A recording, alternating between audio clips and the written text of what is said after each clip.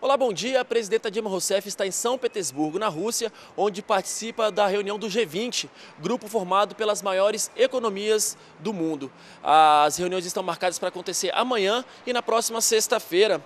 Nove temas devem ser tratados nessas reuniões, entre eles a economia e a estabilidade financeira global e a cooperação tributária entre os países. O G20 foi criado em 1999, depois que o mundo passou por diversas crises durante a década de 90.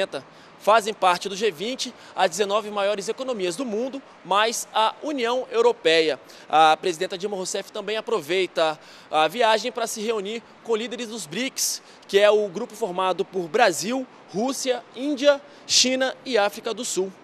Leandro Alarcon, direto do Planalto.